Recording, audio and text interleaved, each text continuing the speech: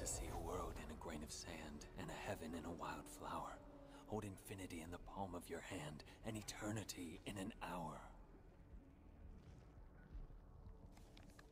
The angel that presided o'er my birth said, Little creature formed of joy and mirth, go love without the help of anything.